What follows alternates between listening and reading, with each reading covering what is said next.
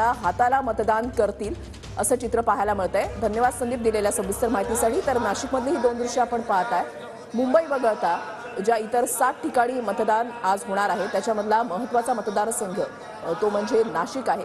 नाशिक हा सर्वच अनुषंगानं फार महत्त्वाचा धार्मिक महत्त्व या शहराला आहे आणि महाराष्ट्रामधलं राज्यामधलं तिसरं मोठं शहर म्हणून नाशिकची ओळख आहे. आणि या ठिकाणी नेहमीच जर आपण पाहिलं तर लढती जी आहे ती अत्यंत रंगतदार पाहायला मिळालेली आहे नाशिकमधून तिसऱ्यांदा हेमंत गोडसे हे लोकसभा निवडणुकीला सामोरे जात आहेत. काही वेळापूर्वी त्यांचं औक्षण जे आहे ते करण्यात आलं. आता मतदानाला निघण्यासाठी ते रवाना होतील. तर दुसरीकडे शांतिगिरी महाराज हे सुद्धा सकाळी सहाच्या आधीच त्र्यंबकेश्वरमधल्या मंदिरामध्ये पोहोचलेले होते आणि त्यांच्याकडून त्या ठिकाणी मंदिरामध्ये पूजा अर्चा करण्यात आलेली आहे. तर ही दोन दृश्य जी आहेत ती आपण या ठिकाणी पाहत आहे. उमेदवारांमध्ये नक्कीच धाकधूक जी आहे ती पाहायला मिळते. देवदर्शन औक्षण उमेदवारांचं केलं जात आहे जगद्गुरुदान स्वामी महाराज मुनी महाराज यांचं आवडतं त्र्यंबकराज. आणि म्हणून आज ज्या ब्रह्ममुहूर्तावर त्र्यंबकराजचा अभिषेक करून आपल्या भार भारत मातेचाही आशीर्वाद मिळावा आणि आणि मतदारांना सद्बुद्धी व्हावी. आणि म्हणून या ठिकाणी अभिषेक केला आहेत आणि बघा आम्ही प्र त्र्यंबकराजाकडे एकच मागणं मागितले कोणतं की सर्व सुखिना संतू सर्व संतू निरामया सर्व बदन पश्यंतू मा दुःख मापण्यात हरिओम शांती शांती शांती. मतदान आम्ही आपल्या लोकशाहीप्रमाणे की डॉक्टर बाबासाहेब आंबेडकरांनी जे लोकशाहीचे तत्व सांगितले की शंभर टक्के मतदान करा. आपलं मतदान वाया जाऊ देऊ नका. आणि योग्य उमेदवारच काय करा निवडून द्या. जेणेकरून तुम्हाला भविष्यामध्ये पश्चाताप होणार नाही.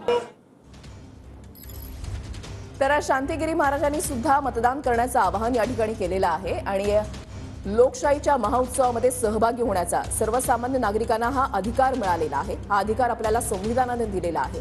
मतदान करा आणि आपला अधिकार बजावा. त्याच्यामुळे टी व्ही नाईन मराठी सुद्धा आपल्या प्रेक्षकांना हे आवाहन करतंय आहे की आजचा दिवस तो अत्यंत महत्त्वाचा आहे. पाचव्या टप्प्यामधलं शेवटच्या टप्प्यामधलं मतदान होत आहे घराबाहेर पडा आणि आपल्या मतदानाचा अधिकार बजावा.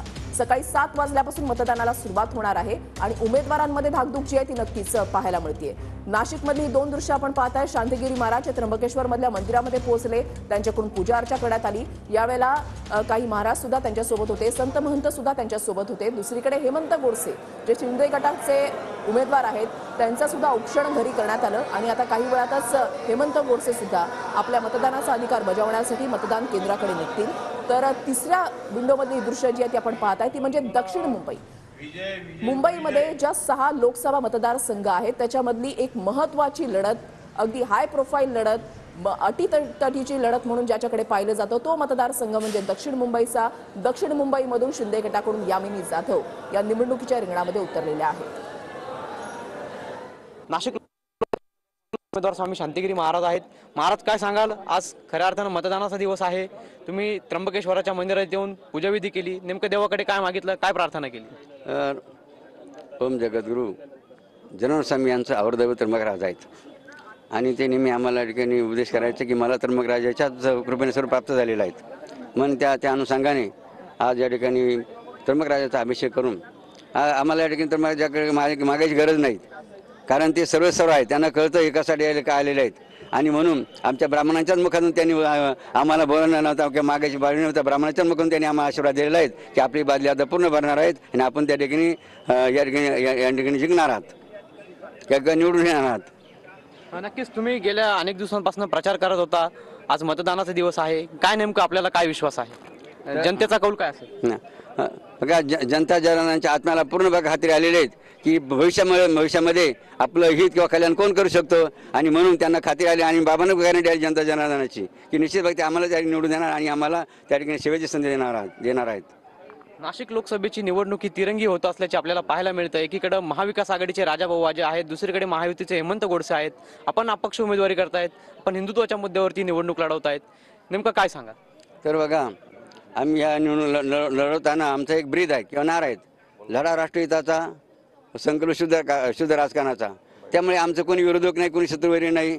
त्यामुळे आम्ही कोणाच्या विरोधात नाही. त्यामुळे आम्हाला दुसऱ्याचा विचार करायची आवश्यकताच नाही. आम्ही फक्त आम- आमची ज्या रस्त्याने किंवा जो जो हेतूने किंवा राष्ट्राच्या हितासाठी आम्ही या ठिकाणी हे पाऊल टाकलेलं आहेत. आणि निश्चित जनता जनार्दन या ठिकाणी आम्हाला या ठिकाणी सहकार्य करून आम्हाला या ठिकाणी निवडून देणार आहेत.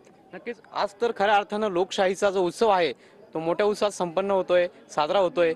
आपण आध्यात्मिक क्षेत्रात देखील आहात उमेदवार देखील आलाय आहात. काय आव्हान कराल?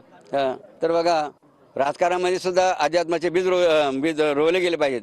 जसं जसं काही मंडळी म्हणतात म्हणे महाराज तुम्ही आता राजकारणात आले तुम्हाला खोटं बोलावं लागेल. अ, त्यापर्यंत तुम्हाला त्यांनी चोरी करावं लागेल किंवा तुम्हाला लोकांना फसावं लागेल. मा बाबांनी माझं त्यांना चॅलेंजवर सांगितलं की बाबा राजकारण राजकारण कशासाठी आलेले आहेत? चोरी करण्यासाठी आलेले नाहीत. किंवा लोकांना फसवणे आले नाहीत. किंवा लोकांना ते या ठिकाणी खोटं बोलण्यासाठी आले नाहीत. आम्ही राजकारणसुद्धा राजकारणात सुद्धा असताना जसं ब जसं त्या ठिकाणी हरिश्चंद्र राजांनी राज्य केलं सपना दिलं वचन बघा त्यांनी पाळलं की नाही.